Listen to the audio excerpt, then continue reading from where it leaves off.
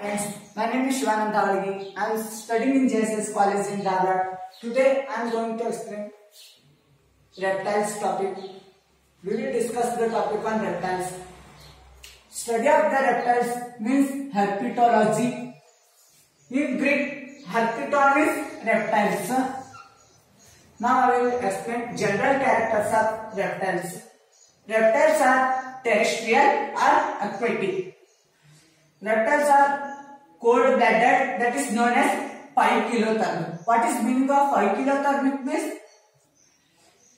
They do not regulate their body temperature according to their environment is known as 5 kilothermic.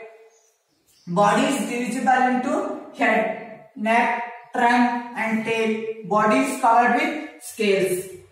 Limbs are tetrapod with pentadactyls.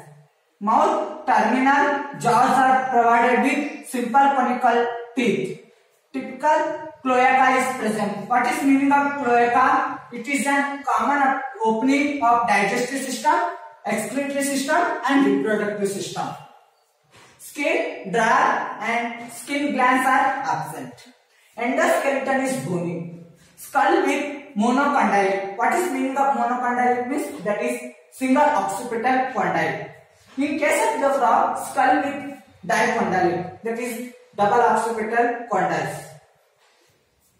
Respiration by lungs throughout the life in case of reptiles. But in case of amphibians, respiration takes place by gills, skin, lungs. If it is in young, if it is in young, respiration takes place by gills if it is in adult stage then respiration takes place by if it is present in water respiration takes place by skin. If it is present on land respiration takes place by lungs.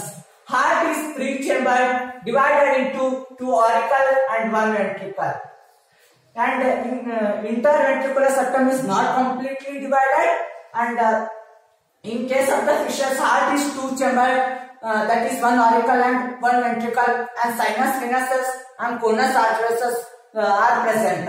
But in case of the uh, heart is three chamber that is uh, two auricles and one ventricle, uh, left auricle, right, right auricle and one ventricle. Sinus venosus is present, but in case of the conus arteriosus is present in fish, conus arteriosus is changes into truncus arteriosus. In here, sinus venosus is present, truncus arteriosus is divided into two, so two systemic arch and one pulmonary arch.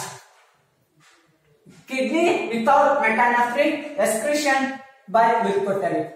Metanephric means nitrogen waste is filtered by the blood. Kidney without the metanephric. Excretion by uricotelic. Uricotelic means nitrogen waste is in the is in the form of uric acid. Such organism is known as uricotelic. But in case of the amphibians, nitrogen waste is in the excretion by ureotelic. Ureotelic means nitrogen waste is in the form of ammonia. In the nitrogen waste is in the form of urea. Such organism is known as ureotelic.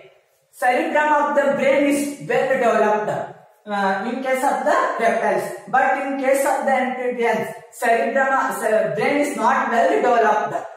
Twelve pairs of cranial nerves are present in reptiles, but in case of the amphibians, ten pairs of cranial nerves are present. Success are separate. Lateral sense organs are absent. Fertilization is internal. Parental care is absent. Example, testudo, commonly known as tortoise. Thank you.